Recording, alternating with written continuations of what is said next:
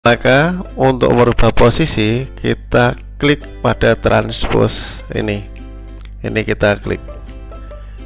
Kita centang. Terus baru kita oke. Okay. nah maka bentuknya yang semula vertikal kemudian menjadi horizontal. Assalamualaikum warahmatullahi wabarakatuh. Selamat bertemu kembali dengan channel Pemas Ripno Kali ini belajar bersama cara praktis mengubah data tabel horizontal menjadi vertikal di Excel dengan sistem transpose Dengan materi sederhana semoga bermanfaat.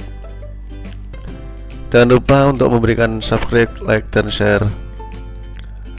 Dan bunyikan lonceng sebagai notifikasi setiap ada materi tutorial saya yang terbaru untuk itu dengan bismillahirrahmanirrahim semoga tutorial kali ini dapat membawa barokah transpose adalah mengubah bentuk data dari tabel horizontal menjadi bentuk vertikal pada Excel atau sebaliknya. Tujuannya ini adalah untuk mempermudah kita dalam memasukkan data-data ke dalam tabel yang sudah tersedia. Sehingga kita tidak usah mengetik satu persatu data tersebut, tinggal mengcopy saja sehingga memperingan pekerjaan kita. Contoh saja sekarang ini kita sedang mengentri daftar nilai pada rapat semester 7 sampai 12 ini sebagai contoh bahwa di daftar nilai semester 7 sampai 12 itu bentuknya seperti ini. Mapel ke samping kanan mata pelajarannya sedangkan ke bawah semesternya. Sedangkan kita dalam kesehariannya untuk mengentri nilainya itu bentuknya adalah horizontal seperti ini. Per mapel jadi yang memanjang ke sini adalah semesternya yang ke bawah adalah mata pelajarannya karena terbiasa seperti di rapat mata pelajarannya adalah urut ke bawah secara vertikal pendidikan agama, PKN, bahasa Indonesia, matematika, IPA, IPS, FIK, Penjas, bahasa Jawa, Tembang Jawa, dan mulai sekolah ke bawah. Ini adalah urutan pada rapot kita, sehingga kita mengambilnya seperti ini. Nah, padahal di entry nilai untuk ijazah nanti bentuknya seperti ini. Maka kita harus merubah posisi dari bentuk vertikal ini menjadi horizontal maka untuk langkah membuat atau mengubah data tabel horizontal menjadi vertikal ataupun sebaliknya kita mengandalkan dalam Excel ada istilah yang namanya transpose. Transpose. Mari kita ikuti langkah-langkahnya. Pertama adalah kita mengcopy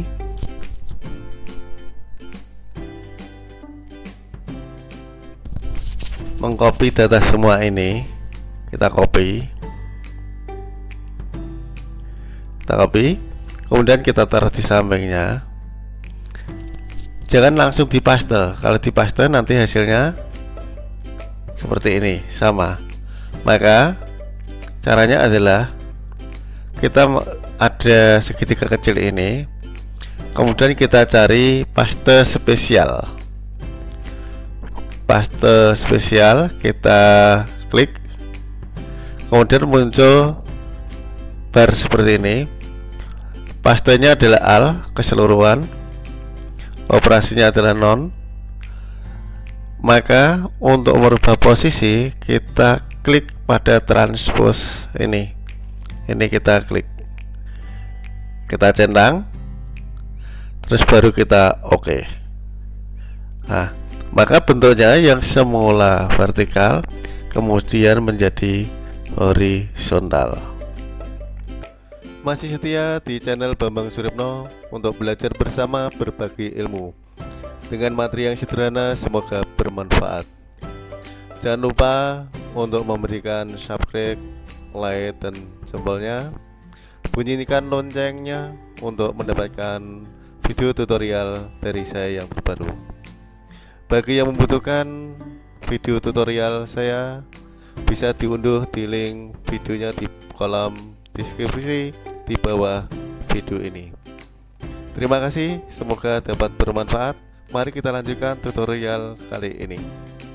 Kita untuk memasukkan data ke sini tinggal mengcopy. Kita langsung kita kopikan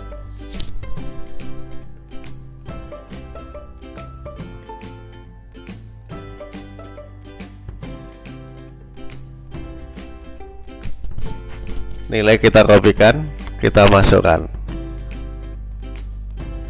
Kemudian kita paste biasa. Sudah masuk sehingga lebih cepat.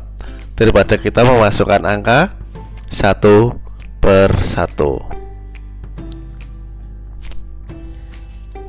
Misalnya ini 72 terus kita masukkan di sini 97 72 dan seterusnya. Padahal posisinya kan berbeda mudahan ini namanya transpose sehingga memudahkan kita memasukkan data yang semula berbentuk vertikal kemudian menjadi horizontal.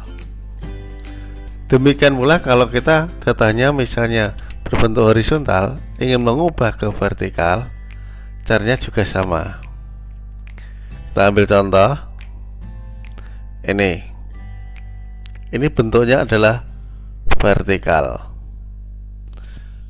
Maka kalau kita menginginkan bentuknya maaf ini bentuknya horizontal menginginkan bentuknya menjadi vertikal